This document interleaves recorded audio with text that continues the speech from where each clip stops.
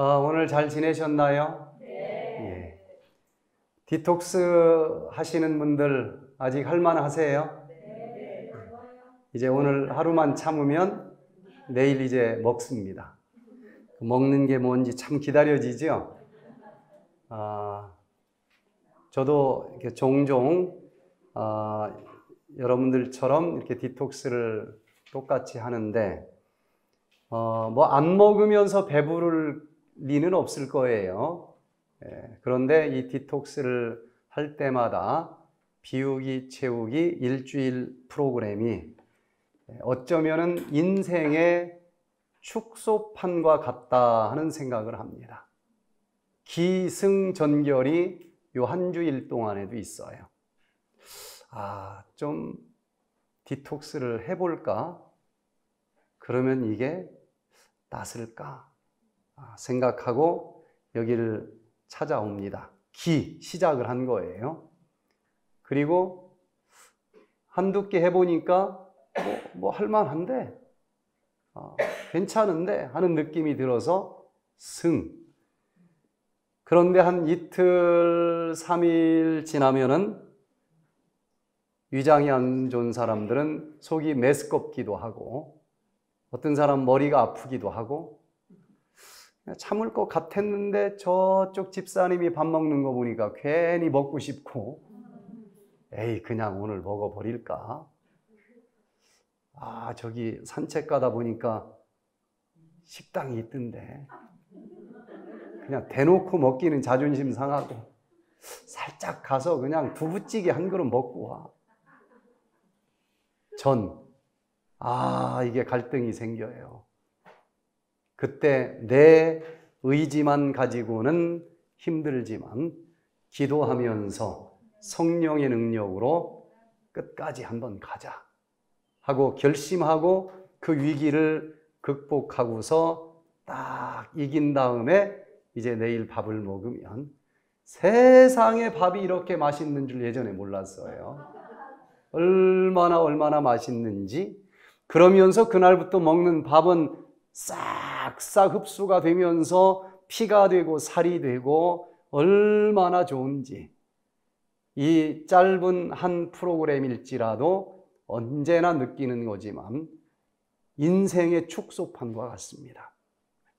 그 어려움을 내 힘으로만 이기는 것이 아니고 기도하면서 성령의 능력으로 이긴 사람은 마지막 날 얼마나 얼마나 큰 이 승리감을 노래 부를 수 있는지 여기서 해낸 사람은 마지막 날 선악의 대쟁투에서도 똑같은 일들이 벌어지는데 도저히 인간으로서는 할 수 없을 것처럼 보이는 그 순간에 여기에서 연서 성령의 능력으로 견디고 이기면서 마지막 승리의 면류관을 쓸 수 있을 줄로 믿습니다.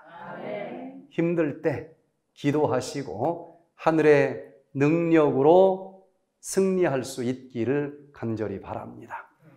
그래서 오늘 이 시간에는 세로토닌과 늦은 비 성령 충만을 위한 영육의 호흡과 기도법이라고 하는 제목으로 같이 은혜를 나누도록 하겠습니다. 그냥 숨 쉬면 되지 그렇게 생각하지만 평생 숨 쉰 게 잘못됐어요. 숨 쉬는 것조차도 배워야 되고, 그냥 뭐 기도하면 되지. 평생 기도했지만 아직 기도를 제대로 할 줄 모르기 때문에 기적이 함께하는 기도를 아, 아직 못하고 있는지도 모릅니다. 뭐 너무너무 잘하는 내용을 오늘 강의를 할 텐데, 저는 아, 이 성경과 예언의 신을 읽으면서 예수님께서 가르쳐 주신 그 복음의 내용을 얼마나 쉽게 풀어 써놨는지 그걸 이해하고 그걸 믿고 그렇게 살아가는 신앙도 중요하지만 예수님은 최고의 선생이라고 하지 않았습니까? 그러면 최고의 선생께서는 어떤 방법으로 가르쳤을까? 여기에 대해서도 관심이 참 많았어요. 그래서 예수님이 가르치신 교수법이 무엇인가 하고 보니까 실물 교훈 13페이지에 그 교수법이 무엇인지를 가르쳐 주셨는데 천연계의 사물들은 영적 사물을 설명하는 매개물이 되는 바 천연계의 사물과 설교를 듣는 자들의 인생의 경험은 성경에 기록된 진리와 연결되어 있다. 그리스도의 비유는 인간을 하나님과 땅을 하늘과 연결시키는 진리의 사슬의 고리들이 되어서 천연계로부터 영계애로 인도하고 있다. 예수님이 가르쳐 주신 그 교수법을 정리를 해보니까 다 공통점들이 있는데 저 보이지 않는 영들의 세계를 이 인간들에게 도대체 무슨 수로 이것을 설명을 할 수 있겠습니까? 그러나 그 하나님은 이 세상에 천연계도 만드셨고 영들의 세계도 만드신 분이기 때문에 우리가 잘 아는 천연계에 대한 이야기로부터 시작을 해요. 그리고 그 속에 있는 어떤 원리를 딱 끄집어 내시고 저 보이지 않는 하늘나라도 똑같다. 그렇게 설명을 했더니 할아버지도 알아듣고 청년도 알아듣고 어린아이도 알아듣고 산상모음 설교를 할 때에 5천 명이나 되는 남녀노소 산에 들인 회원도 있고 많이 배운 박사도 있고 그냥 농사 짓던 아저씨도 있고 그런데 다 이해하고 다 감동을 받는 거예요. 예수님이 어떤 원리를 사용하셨을까 굉장히 관심이 많았습니다. 아, 실물 교훈 교수법의 원리로 가르치신 것이구나. 그래서 그 내용을 요약해 준 실물 교훈 교수 교훈이라고 하는 책을 기도하면서 보고 또 보고 또 보면서 예수님이 어떤 원리를 사용하셨는지를 보니까 딱 해답이 보여요. 이게 진짜 효과 있는 교수법일까 확인을 또 해야 되잖아요. 그래서 일주일 강목을 실물 교훈 교수법의 원리를 활용해서 만들었습니다. 만들어 놓으면 언젠가는 써먹을 날이 오지 않겠어요? 청년 야영회 강사로 초청이 왔어요. 아, 그럼 이걸로 해보자.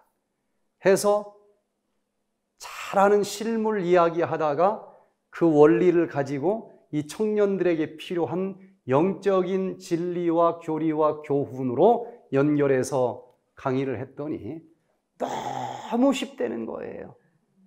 머릿속에 쏙쏙 들어온다는 겁니다. 너무 감동을 받았대요. 아주 히트를 쳤습니다. 아, 이게 되는구나. 그 다음, 작년 야영회 때 강사로 또 초청이 와서 일부러 똑같은 걸 가지고 했어요. 대상이 틀리지만 예수님은 그게 됐잖아요. 그래서 똑같은 것으로 하는데 실물 얘기하다가 적용하는 것만 나이 든 사람답게 그냥 적용을 좀 했을 뿐이에요. 너무너무 좋다는 겁니다. 그래서 제가 인턴 때부터 제 동료들은 말뚝 막 야영회 때는 들고 다니고 밧줄 들고 다니고 그러는데 한 번 그런 소리를 듣고 계속 야영이 때마다 강사로 불려 다녔어요. 그래서 동료들한테 미움을 많이 받았습니다. 그런데 고등학교에서 또 초청이 왔어요. 똑같은 것으로 했습니다. 너무 좋았다는 거예요.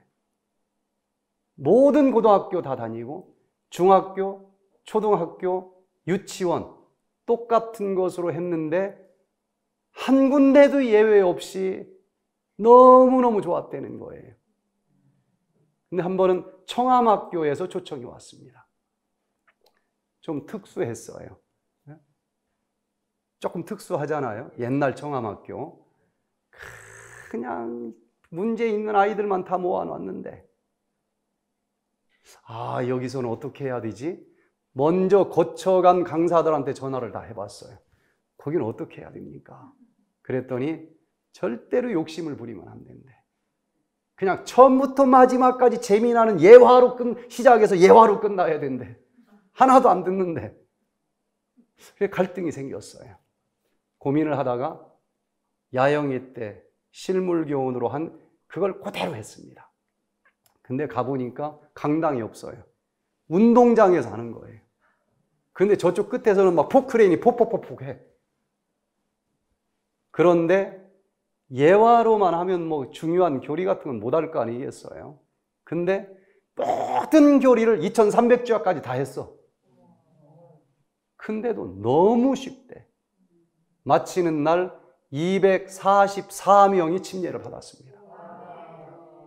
아, 이, 이, 이게 예수님의 교수법이었구나. 어? 여러분, 예수님에 대한 메시지도 좋지만 방법까지 품성까지 모든 것을 담고자 하는 자가 그리스도인 아니겠습니까? 이 실물교훈 교수법의 원리를 터득하고 말을 하면 단 5분짜리 말을 해도 하, 너무 좋다라는 소리를 들어요. 그 원리를 간단하게 설명을 드리면 인간의 뇌를 하나님은 좌뇌와 우뇌로 만드셨고 좌뇌에서는 구체적인 사실을 분석하고 논리적인 사실을 분석하는 뇌로 만들어 주셨습니다. 우뇌는 추상적인 개념을 분석하고 어떤 상징적인, 감성적인 이런 것을 분석하도록 만들어 놨어요. 각자 분석을 한 다음에 중간에 뇌량이라고 하는 다리가 있는데 그 다리에서 각자 분석한 정보를 가지고 만납니다. 만나면 드디어 한 사물의 겉모습과 알맹이까지 완전히 이해가 되는데 그 순간 영감이 충만한 스파크가 일어나면서 아, 그것이로구나 하고 깨달음이 오는 거예요. 그때 엄청난 희열이 옵니다. 그래서 어떤 추상적이고 보이지 않는 것을 설명하는 것이 이해가 쉽지 않아요. 그러나 눈에 보이는 실물을 이야기하다가 저 영적인 진리를 딱 연결시키면은 신앙이 있든 없든 그건 이치가 맞으니까 아 하고 이해를 해요. 그런데 실물 중에서 성경의 그 모든 진리를 다 적용할 만한 하나 가지고 다 적용할 만한 피조물을 발견하기는 쉽지가 않습니다. 눈은 눈이고 비는 비고 뭐 오죽하면 성령을 상징할 때 비 하나로 설명 못하고 불의 이런 측면과 같고 비의 이런 측면과 같고 비둘기의 이런 측면과 같고 하나 가지고 다 설명할 수가 없는 거예요. 그런데 하나님의 형상대로 만들어진 인간의 몸을 연구해 보면 성경 66권에 모든 진리가 연결될 수 있을 만큼 복잡하고 오묘하게 만들어져 있다고 하는 거예요. 그래서 제가 이 생리학을 공부하고 여기에서 성경의 원리를 이렇게 묶어서 아, 설명을 했더니 어떤 나라, 어떤 민족에게 가서 설교를 해도 다 통하는 것을 봤습니다. 그래서 이 몸에 대한 건강에 대한 이 생리적인 원리를 이야기하다가 거기에서 이 영적인 진리를 딱 매치시켜서 설명을 하면은 사람이면 누구나 다 그때 머리에서 불이 번쩍 나면서 성령 충만한 감동을 받는다는 거예요. 그게 무슨 말인가? 오늘 이 기도하는 방법, 요거 하나만 배우면 이 세상, 이 세상 살아가는데 문제도 아닙니다. 네? 내게 능력 주시는 자 안에서 능치 못할 일이 없느니라. 세상에 두려울 게 뭐가 있겠어요. 근데 아직도 이 기도법을 완전히 터득을 못했기 때문에 수십 년 믿고 있지만 그냥 다니느라고 고생만 하지 능력은 하나도 없이 헤매고 사는 것 아니겠어요? 그래서 잘 아는 내용이지만 육적으로 호흡하는 방법을 가지고 예수님이 사용하신 실물 교훈 교수법과 연결해서 영적인 호흡법을 한번 설명을 드려 보겠습니다. 자, 오전에 잠깐 살펴봤지만은 육적인 호흡이라고 하는 것은 이 에너지의 이 재료가 되는 포도당을 먹어야 되고 이것을 불태울 수 있는 생명의 산소, 원동력인 산소를 들이마시고 포도당을 태우면서 에너지가 나온 다음에 나오는 찌꺼기, 이산화탄소는 잘 버려줘야만 우리가 지치지 않고 살아갈 수가 있습니다. 그래서 에너지를 만들기 위해서 생명의 원동력이 되는 산소를 들이마시고 그리고 에너지가 만들어지면서 나오는 이 찌꺼기 이산화탄소를 버려주는 것 이것을 우리는 호흡이라고 불러요. 똑같습니다. 영적인 원리도. 영적으로도 우리가 살아가기 위해서는 영적인 음식인 말씀을 먹어야 되고 그 말씀을 불태우기 위해서는 생명의 원동력이 되는 성령을 산소와 같은 성령을 들이마셔야 되고 그리고 또 살아가면서 만들어지는 마음의 찌꺼기는 미련 없이 버리는 것 이것을 우리는 영적인 호흡이라 부르고 이것을 신학적으로는 기도라고 부르는 것이니까 기도는 어떻게 해야 되는지를 배우기를 원하면은 어떻게 호흡해야 되는지를 배우면 원리가 똑같지 않겠느냐. 자, 그래서 이 기도를 제대로 잘 하면은 믿음의 기도는 병든 자를 치료해 주고 죽을 죄인을 구원해 준다 그랬습니다. 미국의 존 자웨트 박사는 기도할 때 왜 그렇게 사람들이 치료되는가 하는 것을 연구했더니 깊은 믿음의 기도를 드릴 때에 이 몸 속에서 질병을 예방해 주고 이미 걸린 질병까지 치료해 주는 면역 기능이 이 높아진다는 사실을 발견하게 됐습니다. 면역 기능을 높여주는 백신이 분비된다는 거예요. 요즘 코로나 막 백신 하나 기다리느라고 지금 정신 없지 않습니까? 기도했더니 이게 분비되더라는 거예요. 또 병원균의 침입을 막아주고 이미 들어온 그 균을 죽여주는 항독소가 분비된다는 사실을 확인을 했습니다. 또 이상 발효나 부패를 막아주는 엔티셉틴이라고 하는 치료제가 쏟아져 나온다라고 하는 사실을 알게 됐어요. 여러분 깊은 기도를 해보시기를 바랍니다. 그러면 어떻게 해야 깊은 기도를 할 수 있다는 것인가? 어? 깊은 호흡법을 배우면 깊은 기도법을 이해할 수 있다는 것입니다.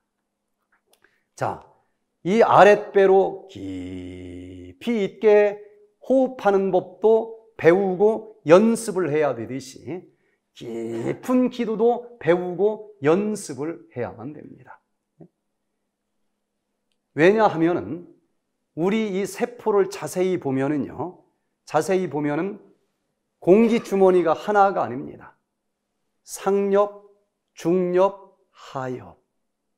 세 엽이 이 오른쪽 허파에는 들어있고, 왼쪽 허파에는 상엽, 하엽 두 개가 들어있어요. 그래서 호흡하는 방법에 따라서 가슴으로만 산소가 들어오게 하면은 상엽까지밖에 산소가 안 들어와요. 그러나 이 아랫배까지 내밀면서 들이마시면은 내면의 공간이 넓어지면서 끌어들이는 압이 생기기 때문에 상엽, 중엽, 하엽까지 산소가 들어오고 아랫배를 밀어 넣으면은 누르면 여기 있는 이산화탄소는 어떻게 할 수밖에 없어요? 누르면 나가게 돼 있지 않습니까? 그냥 가슴으로만 이산화탄소를 내뿜으면은 상엽에 있는 이산화탄소밖에 안 나가는데 이 아랫배를 밀어 넣으면서 단전 호흡을 하면은 상엽, 중엽, 하엽에 있는 모든 이산화탄소 찌꺼기가 다 나갈 수 있다는 거예요. 그래서 그냥 이 밥 주셔서 감사합니다. 이런 얕은 기도만 하면은요. 의식 세계까지 밖에 성령이 들어올 수가 없는데 깊은 기도를 하면은 잠재 의식 속에까지 들어가 응어리짐 죄악의 찌꺼기까지 나갈 수 있다는 것입니다. 아멘.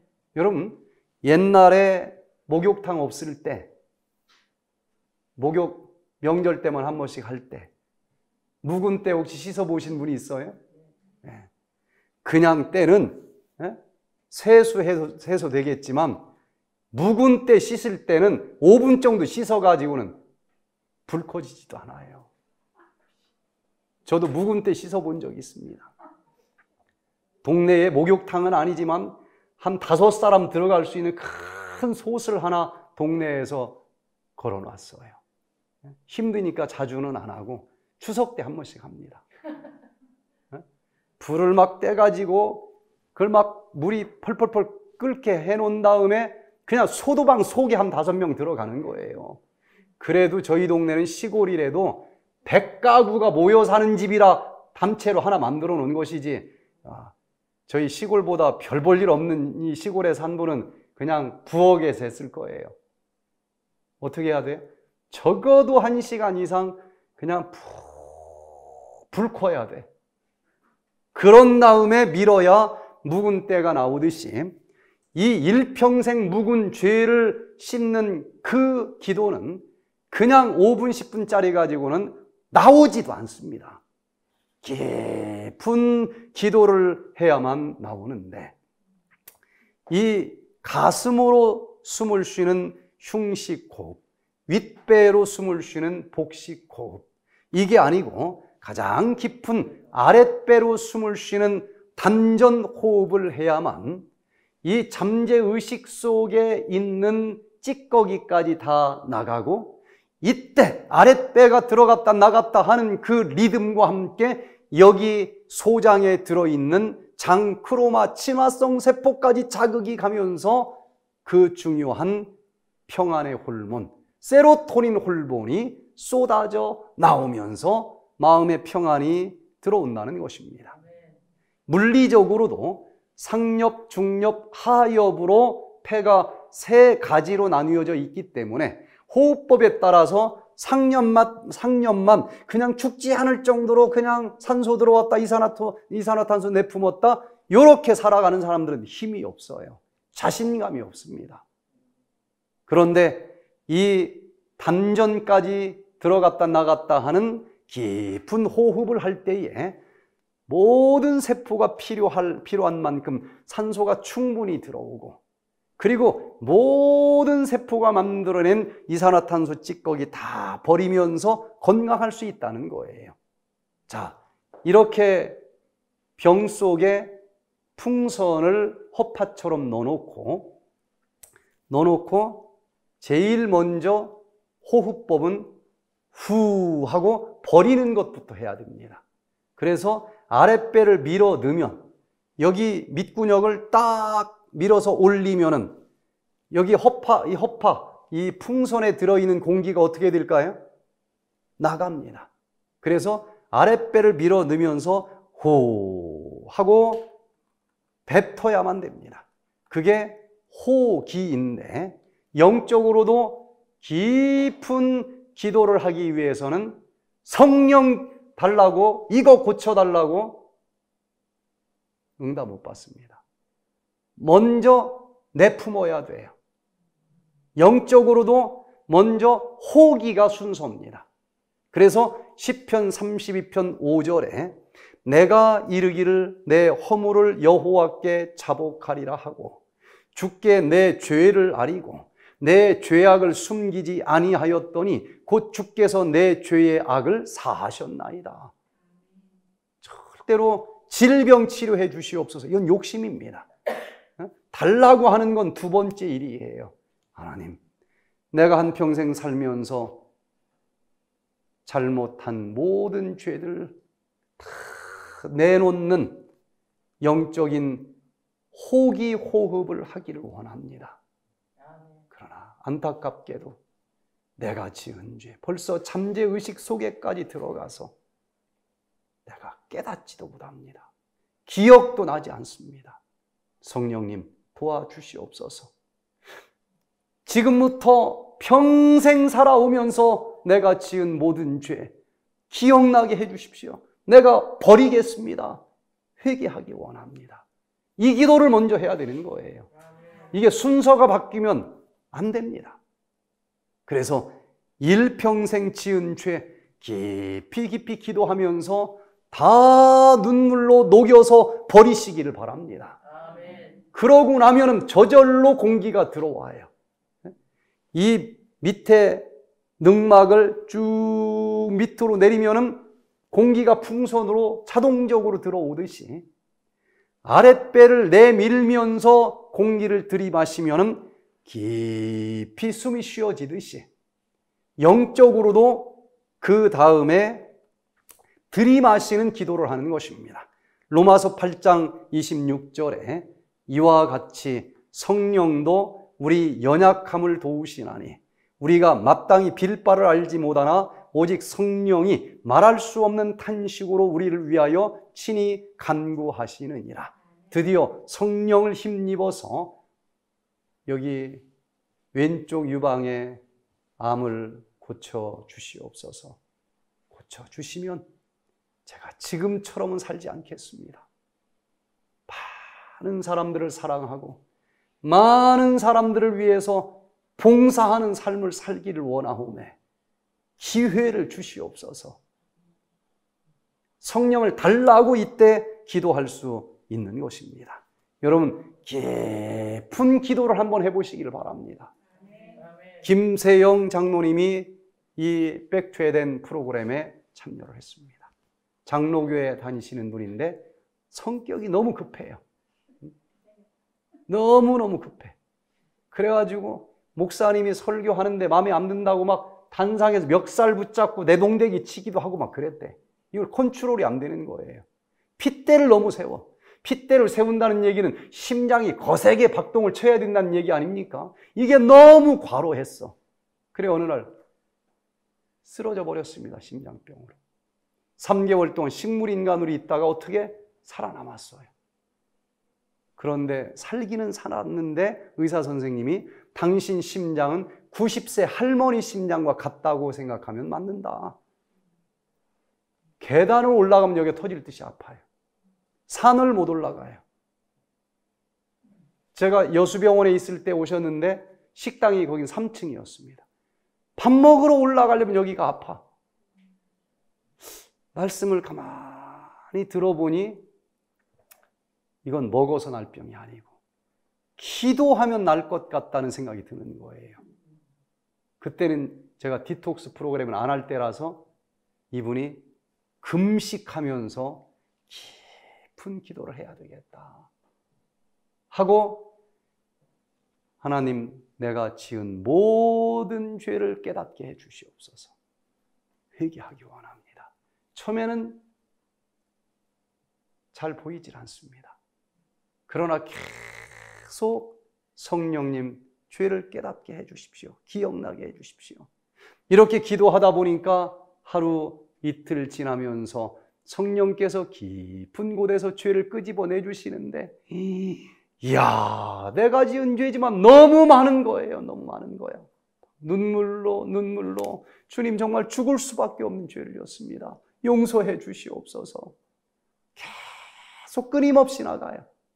한 일주일 정도 그렇게 기도를 하다가 마지막 저 깊은 곳에 분명히 내가 저지른 죄인데 내 마음을 짓눌렀던 무거운 마음인데 그걸 깨닫게 해주시는 거예요. 그걸 눈물과 함께 왈칵 쏟아냈는데 이 우주의 원리는 한 바가지 버리면 한 바가지 들어오게 되어 있는데 우리는 하나님의 형상대로 만들어진 마음의 그릇이기 때문에 이렇게 빈 마음 속에 뭐가 들어올까요? 그때 성령이 들어옵니다. 그 성령이 들어오는 그 느낌을 제가 볼 때는 같은 현상 같은데 간증할 때 들어보면은 다 표현 방법이 달라요. 어떤 사람은 하늘에서 불이 떨어진 것 같은 느낌이 들었다라고 표현하는 사람도 있고 이분은 그 순간 머리끝에서 발끝부터 1만 2천 볼트 정도 되는 이 전류가 흐르는 것 같은 느낌이 들었다라고 표현을 해요. 그 기도 끝나고 그 중증 심장병이 머리끝부터 발끝까지 흔적도 없이 사라졌습니다. 한 계단도 올라가기 힘들었던 이분이 세 계단을 막 달려서 뛰어 올라가도 멀쩡할 정도로 완벽하게 좋아지는 것을 봤습니다. 저는 그런 급의 기적 같은 치료를 깊은 기도를 하면서 체험한 많은 사람들의 감정을 이백회대에서 들었습니다. 여러분, 그냥 예전에 하던 그 기도 말고 깊은 기도를 한번 해 보시기를 바랍니다. 증언보감 1권 159페이지에 모든 귀한 선물을 붙들 수 있는 힘을 하나님께로부터 얻는 것이 그리스도인들의 특권임을 나는 보았다.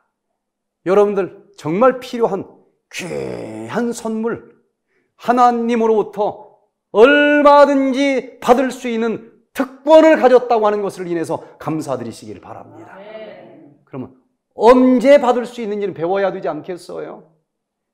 열렬하고 유력한 기도는 하늘이 주목한다. 그냥 기도 말고 열렬한 깊은 기도 해보시길 바랍니다. 하늘이 주목하고 그래 여기 있다 하고 선물로 주신다는 것입니다. 두 번째 어떻게 호흡을 해야만 질병이 치료될까? 여기를 잘 몰라요 많은 사람들이. 일체되는 호흡을 해야만 치료가 됩니다. 일체되는 기도를 해야만 응답이 있습니다. 호흡은 크게 두 종류로 나뉘어져요. 허파까지 산소가 들어갔다 또 이산화탄소가 나가는 호흡. 이건 보이죠? 이것을 생리학적으로 외호흡이라고 부릅니다. 그런데 정작 그 산소는 누가 필요로 해서 들이마신 거예요? 우리 몸 속에 있는 세포가 필요해서 들이마시는 것입니다. 세포에서 이 산소가 미토콘드리아라고 하는 부분에서 이 포도당을 태울 때에 나오는 그 이산화탄소를 또 버려주는 것. 진짜 호흡은 세포가 하는 것입니다. 이것을 이 우리 속에서 이루어지는 호흡이라 그래서 생리학적으로는 내호흡이라고 불러요. 근데 왜 병이 들었는 줄 아십니까? 겉으로 숨 안 쉬는 사람 아무도 없어요. 외호흡은 해요. 그런데 내 호흡은 이루어지지 않아요. 세포 하나가 나는 분명히 외호흡을 하는데 세포가 내 호흡을 하지 않는다. 그러면 이 세포는 어떻게 될까요? 그냥 바로 죽지는 않아요. 암세포로 바뀝니다. 간암은 간암세포에 산소가 잘 전달되지 않을 때 오는 것으로 밝혀지고 있어요. 많은 사람들이 외호흡은 하고 있는데 이 속에 있는 내 호흡이 일치되지 않아서 질병이 오듯이 왜 예수를 믿는다고 수십 년 동안 기도할까요? 안 할까요? 이분이? 해요. 잘합니다. 그런데 응답이 없는 이유가 뭘까? 나는 기도하고 있는데 이 속에 거하시는 예수님의 뜻과 일치되는 기도를 하고 있지 않기 때문에 아직도 응답이 없다고 하는 것입니다. 그러면 이 내호흡, 외호흡이 일치되지 않는 원인을 제거해야 일치되는 기도를 할 수 있고 응답이 있을 것 아니겠습니까? 여러분, 생리학을 연구하라 그랬는데 그냥 허파 껍데기만 연구하면 아, 기도는 숨 쉬는 것 여기까지밖에 연결이 안 돼요. 근데 허파를 깊이 깊이 연구하고 세포도 깊이 깊이 연구하면 더 깊은 호흡의 원리까지 배울 수 있고 성경의 모든 깊은 진리 다 연결이 가능합니다. 그래서 저는 원래 이 건강 기별을 전하기 전에는 예언 전도를 하는 전문가였습니다. 그런데 요 실물 교훈을 연구한 다음에 예언 예언 전도회도 그냥 성서 예언 전도회가 아니고 성서 건강 예언 전도회를 합니다. 모든 것을 우리 몸 이야기, 세포 이야기, 건강 이야기를 하다가 그 다음 예언에 있는 모든 것까지도 다 연결이 가능해요. 예를 들면 트랜스 지방산 잘 아시죠? 좀 깊이 설명을 합니다. 우리 몸을 가장 아프게 공격하는 지방이 수많은 종류 지방 중에서 무슨 지방이에요? 트랜스 지방이죠. 그런데 트랜스 지방은 자연계에는 없습니다. 자연계에 하나님이 만든 지방이 변질돼서 생기는 거예요. 그런데 트랜스 지방은 어떤 지방이 변질될 때 생기는 것입니까? 가장 고급 지방일수록 트랜스 지방이 많이 만들어져요. 가장 고급 지방은 무슨 지방이에요? 오메가 3 지방 아닙니까? 얘가 잘 보관되지 못하고 변질되면 트랜스 지방이 되고 우리 몸을 가장 무섭게 공격을 합니다. 이 원리를 좀 깊이 있게 설명을 하면 그 자체도 새로운 정보라서 들을 것도 있지만 그런데 이건 영, 육적인 트랜스 지방이고 영적인 트랜스 지방은 뭘까? 기름은 성경에서 뭘 상징합니까? 성령을 상징해요. 그런데 그 성령의 은혜를 많이 받은 오메가 쓰리 지방을 풍성하게 가진 사람이 하나님의 말씀대로 구별된 삶을 살지 못하고 변질되면 얘가 영적인 트랜스 지방산이 되는 것이고 그 영적인 트랜스 지방은 이 하나님의 성도들을 가장 무섭게 공격하고 파괴시키는데 다니엘 7장에서는 그 영적인 트랜스 지방을 뭐라고 불러요? 작은 뿔이라고 부르는 거예요. 그러면 그 작은 뿔이 누구인가? 이렇게 풀어가면은 역사만 가지고 연결시킬 때보다도 러시아에 가서 러시아 사람들이 역사를 몰라요. 내 몸은 가지고 있으니까 내 몸의 원리를 가지고 설명을 하면은 이걸 이해를 하는 것입니다. 중국 사람들 문화혁명 이후로 역사 안 배웠어요. 역사를 얘기하고 예언을 또 전도하기 너무 어렵지만 건강으로 이야기하다가 성경의 모든 진리를 묶어서 얘기할 때는 그 믿기 어렵다고 하는 일본 사람들도 너무 좋대. 너무 좋대. 1년을 뭐 가르쳐도 침례 안 맞는다고 하는데 4일 가르쳤더니 쫓아다니면서 침례 달라고 애걸복걸을 해요. 이게 예수님의 교수법이라고 하는 확신을 갖게 된 이유입니다. 그러면 하나 더 벗기고 들어가서 그러면 왜 일체되는 호흡이 안 만들어져서 병이 생기나 하고 또 깊이 연구를 해보니까 오염된 공기를 호흡을 하면은 일체 호흡이 이루어지지 않는다는 거예요. 예를 들어서 이 서울에 오염된 공기도 시원찮아 가지고 하루에 한 20번씩 여기다 굴뚝 설치하고 사는 사람들 있잖아요. 뭐 하는 사람들이에요? 그 연기도 부족해서 담배 연기 20번씩 빨아들이는 사람들이 얼마나 많아요. 그런데 그 담배 연기 속에는 오염된 공기가 들어있는데 특별히 일산화탄소가 많이 들어있지 않습니까? 그런데 이 허파에 나와서 기다리고 있는 요 산소를 운반해주는 헤모글로빈은 산소와 친한 친화, 친화력보다도 일산화탄소와 친한 친화력이 210배나 더 높다는 거예요. 그래서 신선한 공기를 마셨을 때는 헤모글로빈이 산소 팔짱 끼고 나들이 하다가 세포마다 산소 필요하다 보면 다 나눠주지만 담배를 피고 오염된 공기가 들어오는 사람들은 이 헤모글로빈이 산소 친환 능력보다도 이사, 일산화탄소와 친환 능력이 210배나 많으니까 누구와 팔짱 끼겠어요? 일산화탄소와만 팔짱을 낍니다. 그래서 열심히 나들이는 하는데 세포가 산소 좀 주세요 그러는데 없어 줄 산소가.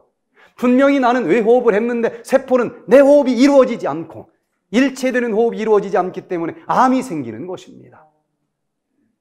그러면 이건 육적인 원리니까 영적으로 기도를 하는데 내 뜻대로 기도는 하는데 왜 이 속에 거하시는 예수님의 뜻과 일치되는 기도를 하지 않아서 응답이 없을까? 그 원인을 이 원리에서 또 찾아봐야 되지 않겠습니까? 자, 피가 빨간 이유는 뭐가 있기 때문에 그래요? 적혈구가 있기 때문에. 적혈구가 빨간해서 그래요. 적혈구를 쪼개보면 그 속에 헤모글로빈이 들어 있습니다. 적혈구 하나 속에 헤모글로빈이 4개가 들어 있어요.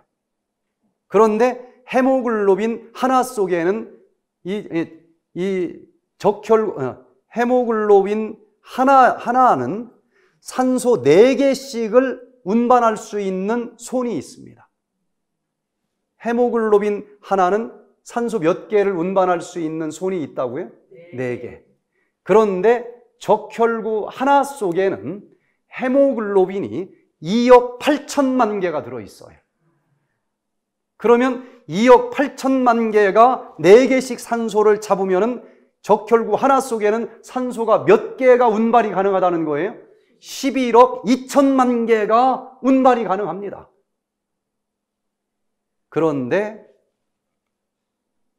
일산화탄소나 독소, 독가스로 오염된 공기를 들이마시면 이 헤모글로빈은 산소와 친한 능력보다도 일산화탄소와 같은 오염된 공기와 친한 능력이 210배가 더 높기 때문에 산소 같은 건 쳐다도 안 봐요. 그리고 일산화탄소만 팔짱을 끼고 돌기 때문에 속에 있는 세포에 줄 산소가 없어요. 이게 일체되는 호흡이 일어나지 않는 이유입니다. 그러면 실물 교훈의 원리로 원리는 다 똑같은 세상이라고 그랬으니까 왜 기도를 해도 응답이 없을까? 내 뜻대로는 기도하지만 이 속에 거하시는 예수님의 뜻과 일치되는 기도를 하지 않기 때문에 응답이 40년을 했는데도 없는 것 아니냐 이거예요. 그 이유를 쪼개서 보면은 내가 일산화탄소와 같은 죄의 마음을 품고 기도할 때, 또 독가스와 같은 이기심을 가지고 남들을 막 망가뜨리는 마음을 품고 기도할 때, 그때 우리의 마음은 이미 죄악으로 기울어진 죄의 성향을 가진 사람들이기 때문에 향기나는 성령과 악수하기보다는 누구와 악수를 하게 되어 있어요? 죄의 마음과 이기심 쪽으로 팔짱을 끼게 되어 있기 때문에 기도는 하지만 이 속에 거하시는 성령님과 뜻이 일치되는 기도는 못 한다는 거예요. 그래서 아무리 내 목소리를 기도해도 이 속에 있는 예수님의 마음과는 일치되지 않기 때문에 예수님의 마음이 움직이질 않는 거예요. 그래서 기도에 대한 이 설명을 한 수많은 책을 제가 봤는데 아무리 읽어봐도 정말 정말 정로의 계단 93페이지에 있는 요 말씀처럼 기도의 전곡을 찌른 말씀을 전 본 적이 없어요. 기도가 뭐냐? 기도는 마치 친구에게 하는 것처럼 하나님께 그 심정을 펴 놓는 것이다. 기도는 어렵지 않아요. 친구에게 뭐 연설을 하면 되겠습니까? 한 얘기 또 해도 상관없고 버벅거려도 너 말 못한다고 가라고 하지 않고 그냥 진심 어린 마음으로 그냥 얘기하듯이 하면 되는 거예요. 기도하다가 템포가 하나만 좀 말이 생각이 안 나면 사단이 잡아가는 걸로 착각하는 사람들이 많아요. 그래서 막 그냥 말, 말이 기도하다 생각이 안 나면 그냥 하나님, 하나님, 하나님, 주여, 주여. 이게 무슨 의미가 있는 게 아니고 말 끊어지면 누가 잡아, 잡아 갈까봐 막 그냥 감주를 넣는 거예요. 그럴 필요 없습니다. 하다 생각 안 나면 그냥 멈춰도 돼. 한참 쉬어도 돼. 친구에게 그렇게 대화하지 않습니까? 기도는 우리가 어떠하다는 것을 하나님께 알리기 위함이 아니에요. 아니, 내가 기도해야 하나님이 지금 내가 무슨 형편에 있는지 아십니까? 촉 보면 다 알지. 기도의 목적이 뭔지를 잘못 알고 있기 때문에 응답이 없어요. 하나님이 내 형편 모르는 줄 알고 막 설득을 하는 거야. 다 알아요. 기도의 목적은 내가 지금 어떤 형편에 있는지를 알리기 위함이 아닙니다. 우리로 하여금 그를 받아들일 수 있도록 하기 위함입니다. 기도는 하나님을 우리에게로 내려오시게 함이 아니요. 우리로 하여금 그에게로 올라가게 하는 것이다. 이 말씀을 깨달으면 응답이 있습니다. 원래 우리는 하나님의 형상대로 만들어졌기 때문에 하나님과 같이 밥 먹던 사이입니다. 마음의 파장이 같아요. 주거니 받거니 대화가 되고 아하면 어가 돌아오게 되어 있고 그냥 말하면 다 주시게 되어 있는 분입니다. 그런데 목이 터지라고 외치는데도 왜 예수님은 꿈쩍도 안 할까? 지금은 예수님의 마음 파장, 파장과 내 마음의 파장이 에덴 동산에서 쫓겨나면서 너무 달라졌어요. 다시 마음의 파장이 일치돼야만 이, 이 공진 현상이 일어나면서 내가 기도할 때마다 예수님의 마음이 움직이면서 아이고 얼마나 어렵니 얼마나 아프니 그 오른손이 움직이면서 하늘 창고 열어주시고 여기 있다 하고 주실 텐데 나만 소리 지르지 예수님의 마음은 하나도 안 움직여요. 그러면 다시 파장이 같아져야만 되는데 예수님의 마음이 도망가서 지금 일치가 안 됩니까? 내 마음이 죄악으로 떨어져서 감격이 있는 겁니까? 그래서 예수님을 나 있는 데까지 내려오게 하려고 하는 기도를 하면 안 되고 내가 원래 위치로 올라가는 기도를 해야 된다는 거예요. 형편 다 아십니다. 예수님은 틀림없이 이 유방암 치료해 주실 것을 제가 믿습니다. 그런데 아직도 그 치료의 선물 내가 받을 수 있는 자격이 없지 않나 제가 뒤돌아봅니다. 주님, 아직도 이 마음속에 남아있는 죄를 버리기 원합니다. 이기심을 버리기를 원합니다.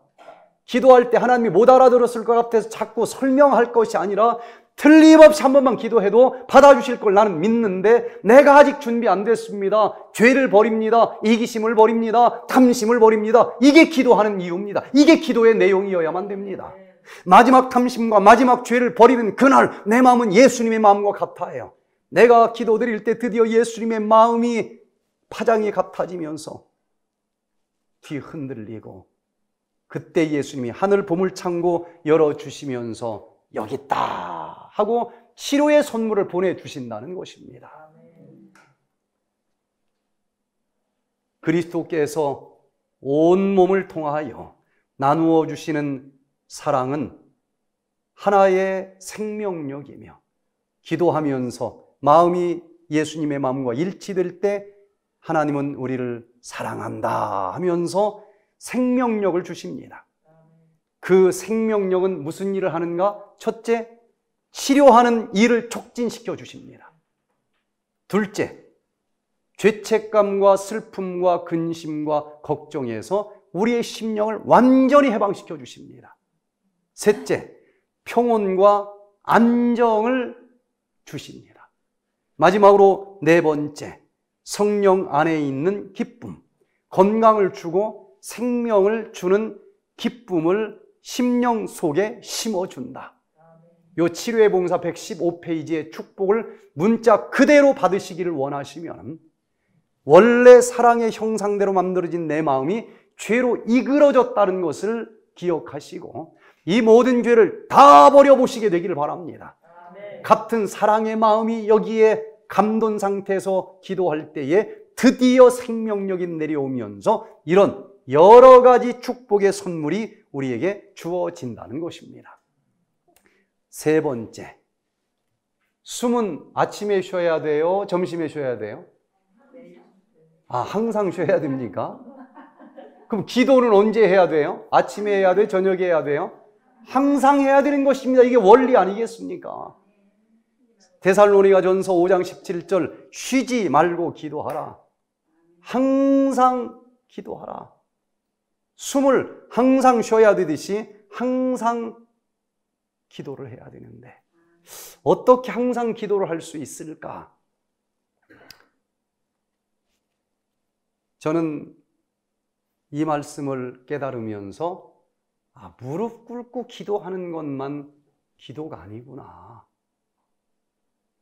모든 것을 할 때 기도를 해야만 항상 기도가 가능할 것 아니겠어요? 그래서 아침에 딱 눈을 뜨면은 오늘 도대체 무슨 일들이 있을지 알아요? 몰라요? 모르는데 참 배짱도 좋아요. 급하다고 그냥 달려나가는 거야. 얼마나 우매한 삶이 됩니까? 그래서 눈을 뜨면은 새벽 기도를 합니다. 하나님, 오늘 무슨 일이 있을는지 알지 못하지만 언제나 주님과 함께 동행하기를 원합니다. 갈림길이 있거든. 저는 잘 모르니까. 어느 길로 가야 영생의 길인지 가르쳐 주시고, 아무리 작은 음성으로 들려주셔도 그 세미한 음성 들을 수 있도록 은혜 내려주시고, 그 길 걸어가겠다 결정할 수 있는 결단력 갖게 해주시고, 중간에 어떤 방해물이 있다 할지라도 포기하지 않고 끝까지 걸어갈 수 있는 용기를 주시기를 기도합니다. 그렇게 무릎 꿇고 맨날 하루 종일 앉아 있을 수는 없잖아요. 이제 일어나서 저는 달리기를 좀 합니다. 그때 처음 시작할 때는 학교를 갔어요. 학교 여기처럼 걷기 좋은 데가 그리 많지 않습니다. 네? 그때 어디 달릴, 다닐 만한 데가 없어서 학교 운동장을 도는데 한 열바퀴를 돌면은 좋겠다 생각해서 열바퀴를 도는데 달리면서도 기도할 수 있어요, 없어요? 있잖아요. 어? 그런데 열 바퀴를 돌기로 했는데 중간에 자꾸 몇 바퀴를 돌았는지, 돌았는지 잊어버리네. 그래서 한 바퀴 돌면 손가락 하나 꼽고, 요렇게 이제 몇 바퀴 돌았는지 하는데 어느 날 몇 바퀴 돌았지 하고 보니까 손가락을 이러고 있는데 몇 바퀴예요? 이게 또 네 바퀴인지 여섯 바퀴인지 헷갈리네.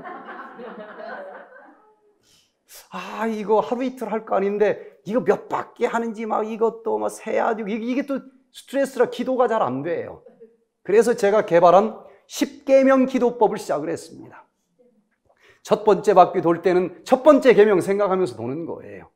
근데 반바퀴 돌 때는 그 계명을 거울 삼아 하나님 이 계명대로 살지 못한 죄가 있으면 깨닫게 해 주시옵소서. 회개하기 원합니다. 그러면서 막 회개하면서 달리고 나머지 반바퀴는 하나님 오늘도 이 계명대로 살 수 있는 성령의 능력을 충전시켜 주시옵소서.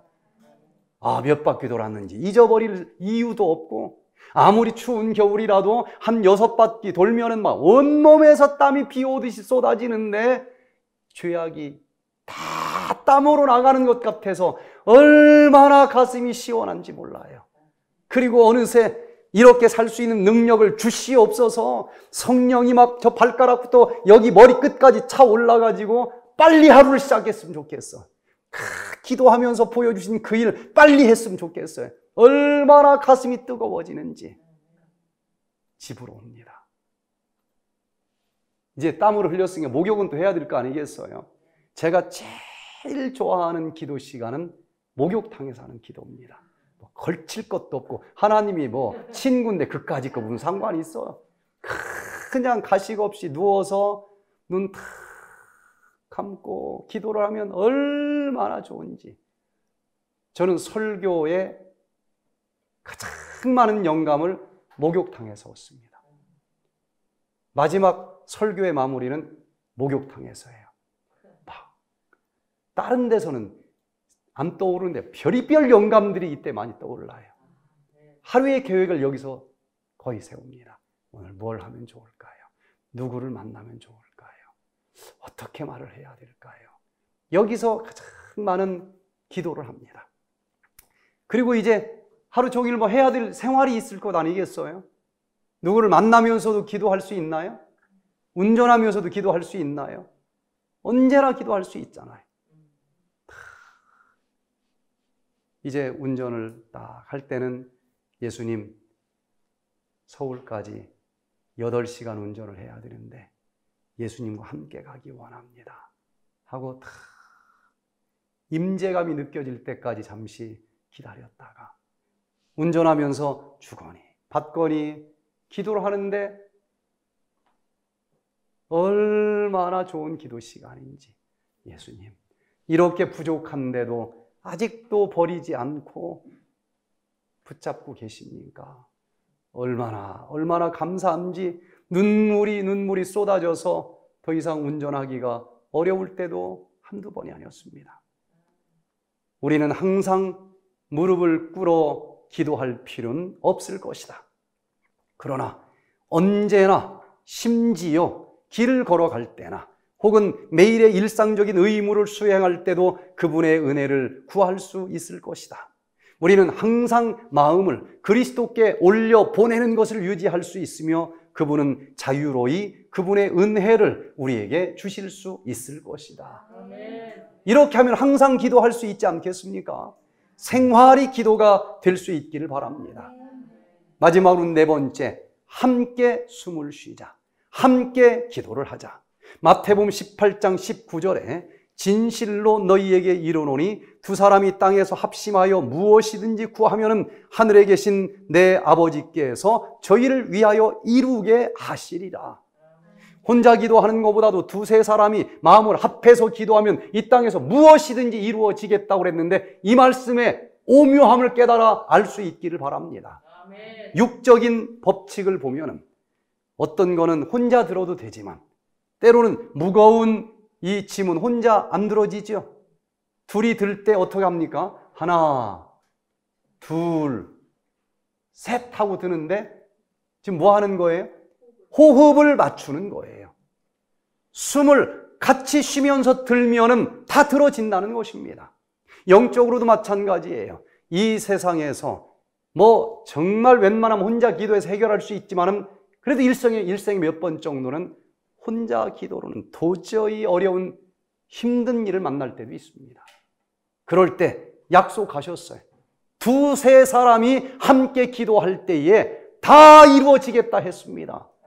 합심 기도가 얼마나 파워풀한지 꼭 기억하시기를 바랍니다.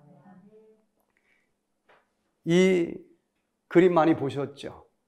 뒤로라고 하는 사람이 그린 그림인데 뒤로가 어렸을 때 그림 그리는 재주가 있었대요. 그런데 너무 가난해서 그림 공부할 돈이 없었답니다. 그런데 그 친한 친구도 뒤로 못지않게 그림 그리는 재주가 있어요. 그런데 여기도 돈이 없어서 공부를 못하는 겁니다. 이 어린 아이들이 둘이 모여서 야, 우리 그림을 좀 배우고 싶은데 돈이 없어서 둘 다 화가가 되기가 어렵겠다. 그런데 우리 이렇게 하면 어떨까? 두 사람 중에 한 사람이 열심히 일을 해서 돈을 벌어가지고 한 사람 학비를 대주자. 그래서 열심히 공부해서 화가가 되면 이제 이 화가가 돈을 벌어서 나머지 한 사람 또 돈을 대주면 얘도 공부를 해서 똑같이 화가가 될 수 있지 않겠느냐. 아, 그거 참 좋겠다. 그럼 누가 먼저 공부할까? 서로 네가 먼저 해. 내가 돈 벌게. 서로 싸웠어요. 그러다가 어찌어찌 하다가 뒤로가 먼저 공부를 하게 됐답니다. 그 어린 친구가 그 힘든 일 하면서 돈을 벌어주는 걸 보면서 하루라도 빨리 화가가 돼야 되니까 열심히 열심히 그림 공부를 한 거예요. 이제 내 친구 돈을 대줄 때가 됐다. 싶어서 친구 집을 찾아갔어요. 그런데 친구 방문을 딱 들어가려고 하다가 멈춰 섰습니다. 문이 살짝 열려 있는데 방 안에서 친구의 기도 소리가 들리는 거예요. 두 손을 모아서 기도를 하는데 하나님, 저는 정말 훌륭한 화가가 되고 싶었습니다. 그런데 돈이 없어 배울 수가 없었기 때문에 내가 돈을 벌어서 내 친구 뒤로가 화가가 되도록 열심히 열심히 돈을 벌었는데 주님 뒤로가 훌륭한 화가가 될 수 있도록 은혜 주셔서 너무너무 감사합니다. 그런데 주님, 저는 어렸을 때부터 너무 거친 일을 하다 보니까 손이 뚝살이 베기고 구부러지고 상처가 나서 더 이상 그림 그리기엔 적합한 손이 되지 못합니다. 그러나 주님, 내가 그리고 싶었던 그림까지 뒤로에게 내 친구에게 영감을 주셔서 다 그릴 수 있는 세계 최고의 화가가 되게 해 주시옵소서. 그 소리를 기도를 들으면서 흐르는 눈물을 닦을 사이도 없이 얼른 스케치북을 꺼내서 그 친구의 기도하는 손을 그린 것이 그 유명한 기도하는 손입니다. 아, 내가 내 잘나서 화가가 된 게 아니구나. 내 친구의 기도 때문에 내가 이런 화가가 된 것이구나. 여러분, 이 땅에서 기도의 친구를 찾으시기를 바랍니다. 정말 출세한 사람입니다. 기도의 친구. 힘들 때마다 큰 힘이 될 수 있을 것입니다. 왜 나 혼자 기도하지 않고 합심 기도할 때 응답이 있는지. 자존심이 상해서 기도 부탁합니다. 나 좀 위해서 기도해 주세요. 이건 제일 못난 자존심이에요. 예언의 신에서는 왜 합심 기도를 해야 되는지를 제가 수없이 많은 책을 봤지만 이렇게 기가 막히게 설명한 구절을 본 적이 없어요. 주님은 두세 사람이 합심하여 하나님께 무엇을 구하면은 받으리라 하는 약속과 함께 당신께서 가르치신 교훈을 따르신다. 그리스도께서는 어떤 일정한 목적에 대한 우리의 소원을 아릴 때라도 다른 사람들과 연합하여야 할 것을 여기서 보여주신다. 연합된 기도. 이 경우에 있어서 예수님께서는 당신의 새로 조직된 세상의 교회에 특별한 의미를 가지는 중요하고 특별한 교훈을 하고 계신다. 그들이 소원하는 것과 기도하는 것이 상호 간에 일치해야만 했다. 간구하는 기도는 속임에 넘어가기 쉬운 한 사람의 생각이나 마음의 행사에 의해 이루어질 것이 아니라 동일한 문제에 집중된 몇 사람들의 간절한 소원에 의한 것이어야만 했다. 혼자 기도할 때는 응답이 없는데 왜 합심 기도하면 더 응답이 있다고 그랬는가? 혼자 기도할 때는 이기심으로 기도할 때도 있을까요? 있겠죠. 자기도 속는 거예요. 누구에게 속았어요? 사단에게 속아서 기도할 수도 있다는 것입니다. 그러나 누군가가 나를 기도해 줄 때는 그 사람은 자기를 위해서 기도하는 것이 아니고 나를 위해서 기도해 주시는 것, 기도해 주는 거기 때문에 적어도 이기심으로 기도하는 것은 아니지 않겠습니까? 그래서 누군가가 나를 위해서 기도해 주면은 응답이 있을 수 있다고 하는 거예요. 그래서 정말 나 혼자 기도하지 말고 누군가 합심해서 기도하시기를 바랍니다. 오늘 이 프로그램은 기도의 친구들 몇 명이서 제가 광명교에 있을 때 계속 합심 기도하면서 받은 비전이었습니다. 늦은 빛 성령 충만을 위한 백일 기도를 저 혼자 한 게 아니고 같이 하면서 비전을 받고 그 비전을 보고 지금 여기까지 따라온 것입니다. 여러분, 이 백퇴된 운동은 혼자 만들어낼 운동이 아니라고 저는 믿습니다. 그래서 기도의 동지들을 찾고 있어요. 이건 기도로만 이루어질 운동입니다. 깊은 호흡을 해야만 세로토닌이 만들어지는 것처럼 깊은 기도를 할 때에 이 세상 최고의 행복과 평안이 선물로 주어질 것입니다.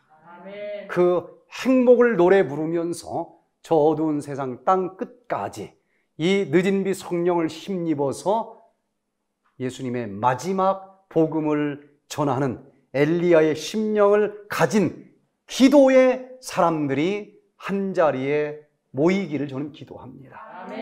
그래서 이 복음 땅 끝까지 전파할 수 있는 우리 모두가 되시기를 간절히 바라면서 오늘 말씀을 마치겠습니다.